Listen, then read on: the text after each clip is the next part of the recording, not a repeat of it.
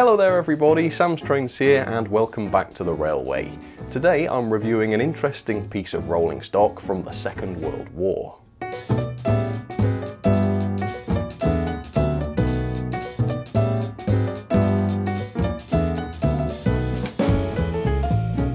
The other month, I launched my insane Uncle Fredrickson's balancing tank wagons, which were a lot of fun but ultimately fictional.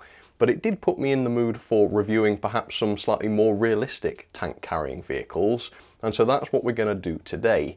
We're not looking at a war well, but this time a war flat. So this is the Bachmann 50 ton war flat wagon, which was released in 2019 and as you can also see, this has a tank on board, which I believe is a Cromwell tank. Now, unlike the Warwells that I've reviewed on this channel, this model is very expensive. The latest price for the Hattons Warwells was £25. This is more than double at RRP at least, at £57.95. So either this is a lot more expensive, or the inclusion of the tank has caused the price to almost double. Fortunately though, I managed to find this on sale. I bought this from Kernow, I think it was, for £34.99, which I think is a bit more reasonable. If we take the wagon to be the same price as the Warwell, that adds about a tenner for the tank. So actually I'm quite happy with that. So let's see what this is like. It's a reasonably modern wagon from Bachmann. Interesting because of the World War II aspect. So let's take a look and let's see what this is like. And if you'd like to pick one up for yourself, I do have some affiliate links in the description. Okay, here we go. And I have to say, I think the inclusion of the tank was a really good idea for this model. Not only does it make it more realistic and complete, but it also makes it much more interesting. I can't say that I would have bought this if it didn't have the tank on it. I just don't think it would have caught my eye. So yeah, props to Bachmann for that. That was a great shout. Let me show you the end of the box then. So the product code for the version I've got is 38-725. It's the War Flat Bogie Flat Wagon in the War Department khaki drab with tank. And uh, yeah, it's a Cromwell Mark IV, I believe. Anyway, let's open this up and let's see what it's like. I'm interested to see how the tank is fixed to the wagon. Is it removable? Is it posable? I don't know. We'll find out. But there it is. Yeah, looking good. No instructions, I just checked. So let's see what we get. Oh, actually, hang on, the accessories are underneath. So I better pop the lid back on.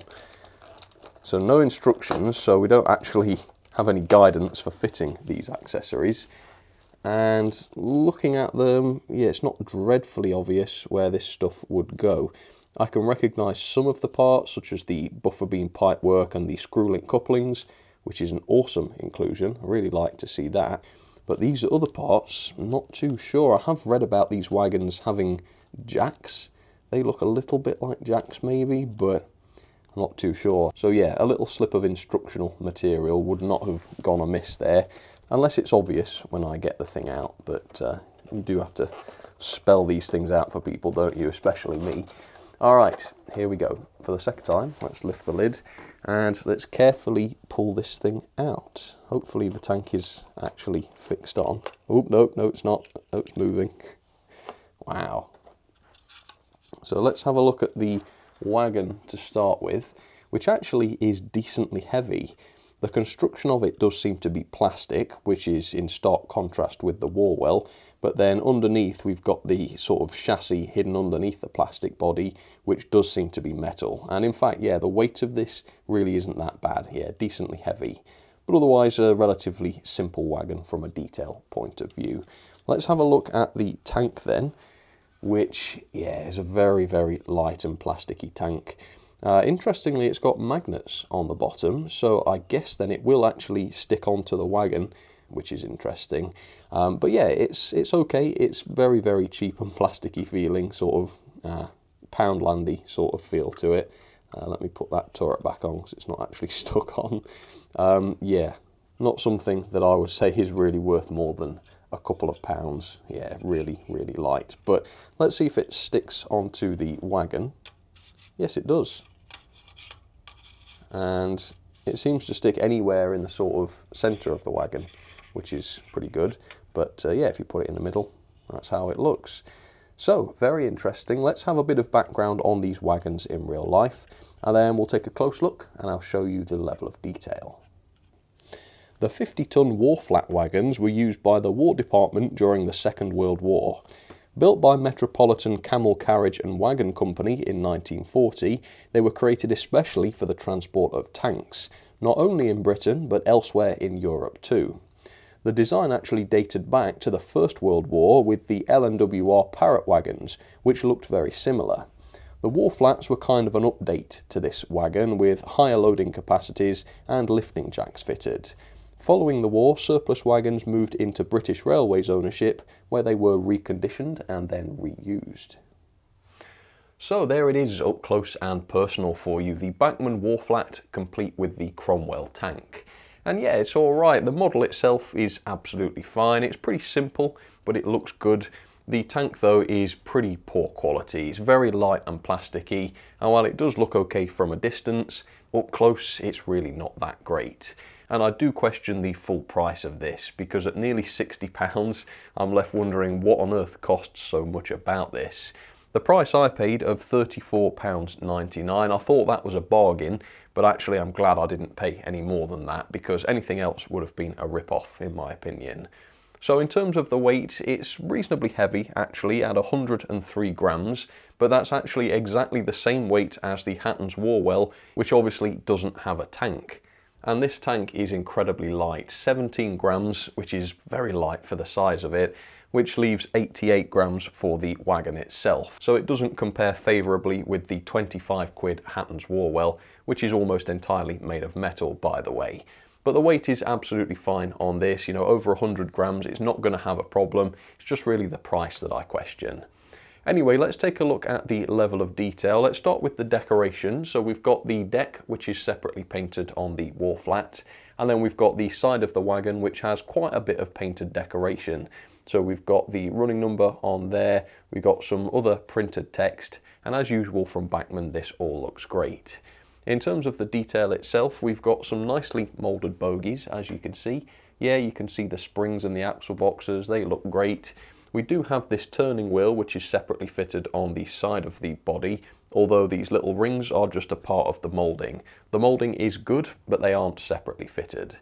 The underframe is pretty basic too, again compared with the Hatton's Warwells.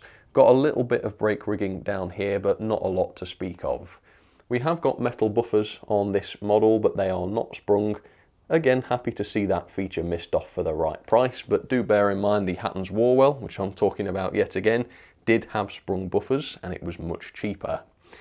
It is the tank though that is the worst aspect of this model by far. I think this is the cheapest and nastiest object that I've ever seen from Bachmann, which is saying quite a lot. So the plastic feels so thin and cheap, and in places you can see where the light has shone through it. Really not a good look. It's covered in visible glue above the caterpillar tracks on top of the turret and in plenty of other places, really, really messily put together. There's scarring all over it from where it's either been caught at the factory or perhaps cut from sprues. Again, none of this has been tidied up, which is quite shocking. And the quality of the moulding is exceptionally poor. The rivets, where there are rivets, look awful and as a centerpiece of a model that cost nearly £60 at the full price, it is absolutely unforgivable. A really nasty piece of work. It does have some decent decoration on it, which I suppose is a good thing, and the wheels and the tracks themselves do look good. The moulding is actually decent on there.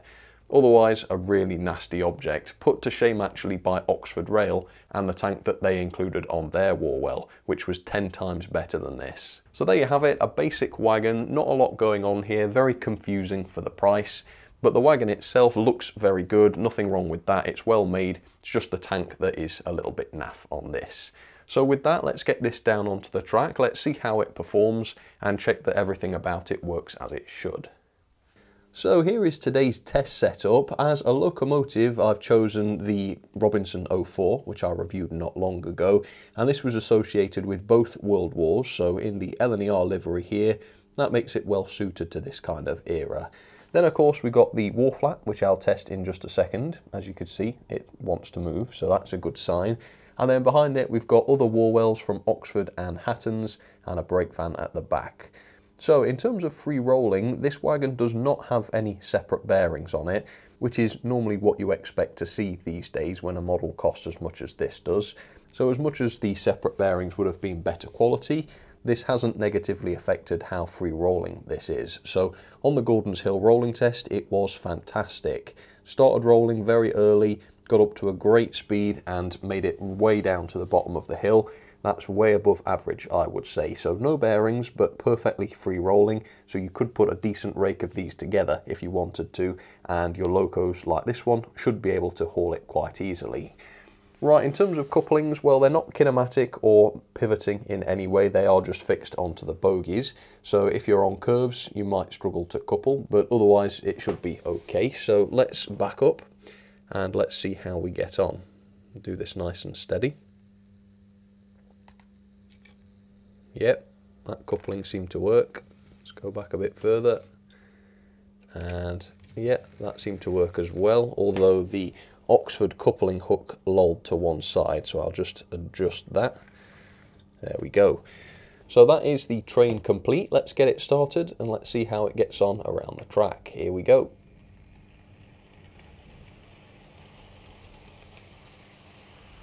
Alright, here we go, coupled as part of a train. Let's see if it's got any issues.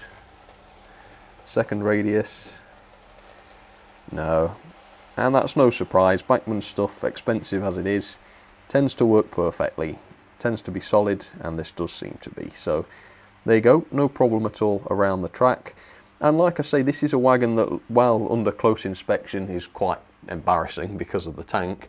From a distance, it looks absolutely fine. There's nothing wrong with the tank from a distance. It does the job and it doesn't look any worse really than the Oxford one. But then again, you know, you're paying probably over £50 normally for one of these, and you would expect a little bit better than just okay from a distance. So, yeah, it is quite disappointing in that sense, but otherwise, very few complaints. Performance top notch, the wagon itself is absolutely fine. So if this is within your interest and you can find it at a decent discount like I did, then yeah, I could totally recommend this. If you're paying somewhere in the mid 30s for this, I think the absolute naffness of the tank is something you could overlook. Um, whether this is available without the tank, I'm not sure. I've not actually seen it without the tank.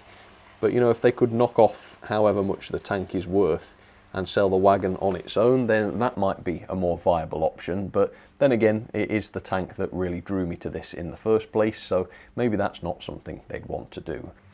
Anyway, better check the performance of this over the points. So usual caveats apply. If anything other than the Bachmann war flat derails, then obviously that's no reflection on the war flat. But if we get a full house, that's even better. So open up the points and let's go for it. There it goes now. Yep. Yeah, no problem at all. All right, perfect performance then. No issues with couplings, no issues with curves or points. So I think I'm satisfied with that. I think we can give it five stars on performance. And speaking of ratings, let's do some of those now.